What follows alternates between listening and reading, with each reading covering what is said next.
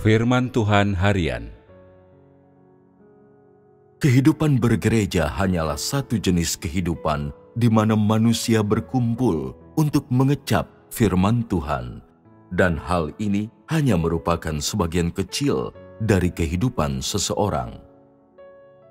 Andaikan kehidupan nyata seseorang juga bisa seperti kehidupan bergerejanya, termasuk kehidupan rohani yang normal, mengecap firman Tuhan dengan normal, berdoa, dan mendekatkan diri kepada Tuhan dengan normal, menjalani kehidupan nyata di mana semuanya dilakukan sesuai dengan kehendak Tuhan, menjalani kehidupan nyata di mana segala sesuatu dilakukan selaras dengan kebenaran, menjalani kehidupan penerapan doa yang nyata dan praktik menenangkan diri di hadapan Tuhan, berlatih menyanyikan kidung pujian dan menari, maka hanya kehidupan seperti inilah yang akan membawa manusia ke dalam kehidupan firman Tuhan.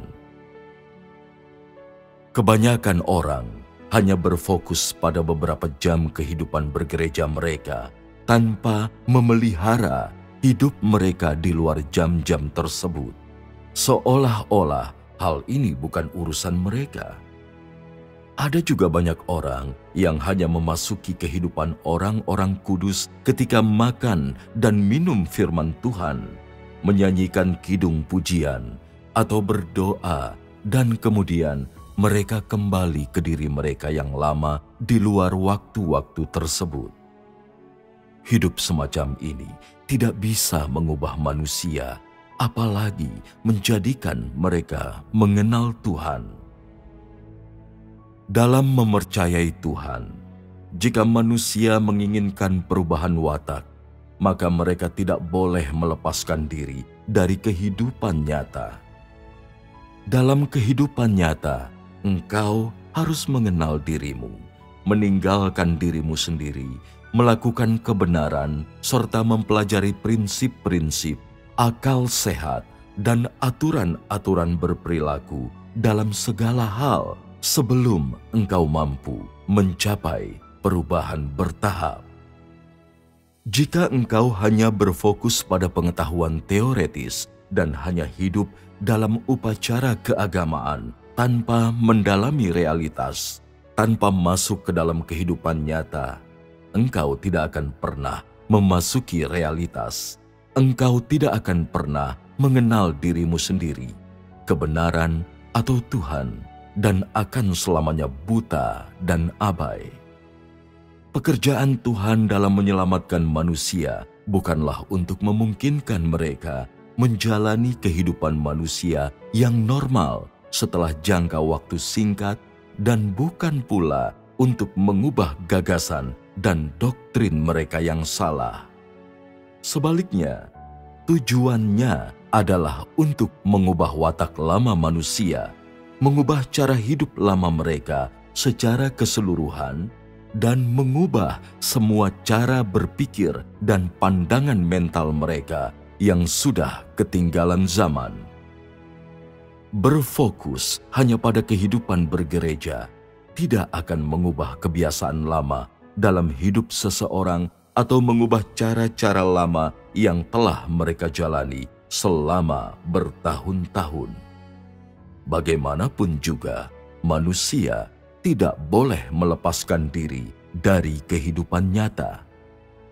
Tuhan meminta manusia untuk hidup dalam kemanusiaan yang normal, dalam kehidupan nyata, bukan hanya dalam kehidupan bergereja, agar mereka hidup dalam kebenaran dalam kehidupan nyata, bukan hanya dalam kehidupan bergereja, agar mereka memenuhi fungsi mereka dalam kehidupan nyata, bukan hanya dalam kehidupan bergereja. Untuk memasuki realitas, orang harus mengarahkan semuanya ke kehidupan nyata. Jika dalam mempercayai Tuhan, manusia tidak dapat mengenal diri mereka sendiri melalui jalan masuk ke dalam kehidupan nyata, dan jika mereka tidak dapat hidup dalam kemanusiaan yang benar dalam kehidupan nyata, mereka akan menjadi orang yang gagal. Mereka yang tidak menaati Tuhan, semuanya adalah orang yang tidak bisa memasuki kehidupan nyata. Merekalah manusia yang membicarakan kemanusiaan, tetapi hidup dalam natur setan. Mereka semua adalah orang-orang yang membicarakan kebenaran, tetapi justru hidup dalam doktrin. Mereka yang tidak bisa hidup dalam kebenaran dalam kehidupan nyata adalah orang-orang yang percaya kepada Tuhan, tetapi dibenci dan ditolaknya. Engkau harus menerapkan jalan masukmu dalam kehidupan nyata, mengetahui kekuranganmu sendiri ketidaktaatan dan kebodohanmu, serta mengenal kelemahan dan kemanusiaanmu yang tidak normal. Dengan begitu, pengetahuanmu akan menyatu ke dalam situasi dan kesulitan nyatamu. Hanya pengetahuan jenis inilah yang nyata dan dapat memungkinkanmu untuk benar-benar mengenal kondisimu dan mencapai perubahan watakmu.